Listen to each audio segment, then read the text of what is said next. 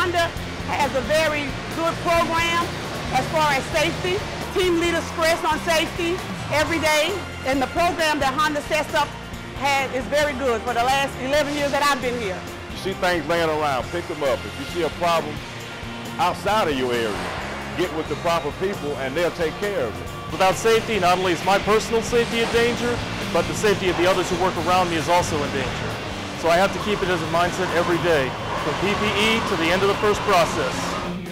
These are companies that have demonstrated management commitment for safety, associate and employee commitment and engagement in safety. Eric Evans, the safety coordinator, told us that when the associates actually buy into the EHS program, they realize They are safety.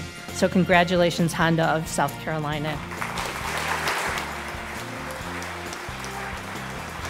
Our associates are our biggest asset. And when it comes to safety, our goal is to make sure our associates come to work and leave work in the same manner without any injuries, without any um, small lacerations, burns, cuts, or anything. And we take that very serious at HSC. The safety awards we get are because of the associates' passion for what they do and how they do it every single day. The quality of the unit, the quality of the company, the quality of the safety program is driven from a Honda associate.